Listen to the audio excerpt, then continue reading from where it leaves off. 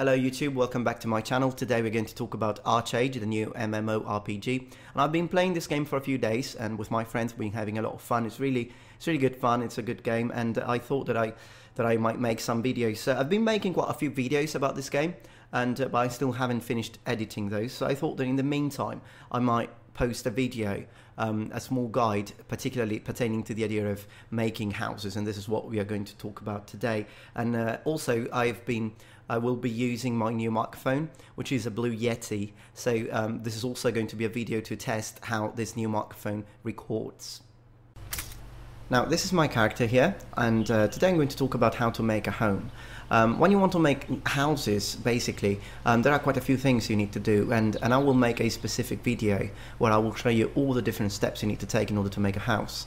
But in this case today, we're going to just talk about the gathering of the materials you need.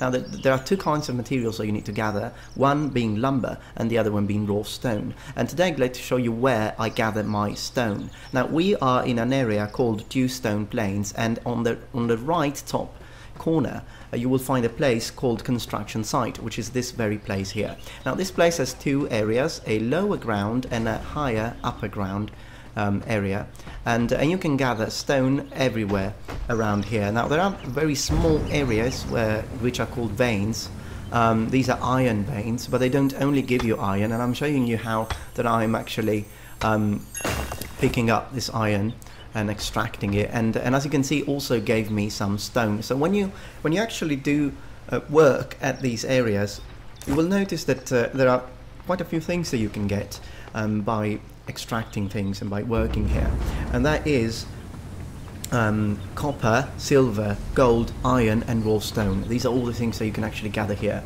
And uh, every time you do an extraction process, it will cost um, exactly 10 labor points. All right. Now, um, there are enemies, as you can see, so occasionally these are kind of, these are going to be bothering, but not that much, because you can kill them immediately. But it's kind of funny that, uh, you know, you, you, work and in the meantime you have these enemies trying to slaughter you, but um, it's okay, it's not too bad, there are not that many, and they don't always attack you, it really depends on the situation or how close you walk beside them, uh, behind them, and, uh, no, no, beside them. And also, um, another thing that is interesting is that um, there are quite a few people here. Now, in this case, today, I got quite lucky, and there are are only um, three or four of us, um, so that's not too bad. Sometimes you can get lucky and get a couple of things in, in, a, in a row.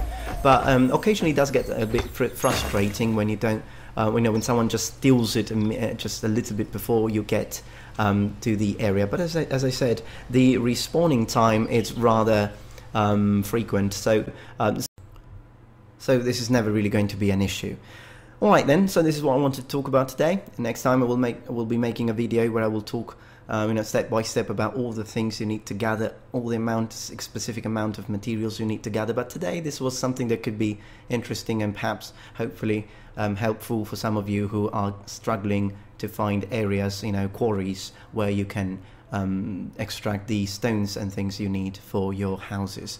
Alright, so keep up the good work, keep on enjoying this game and stay tuned for more videos about ArcheAge. Thank you very much indeed and thank you for watching. Goodbye.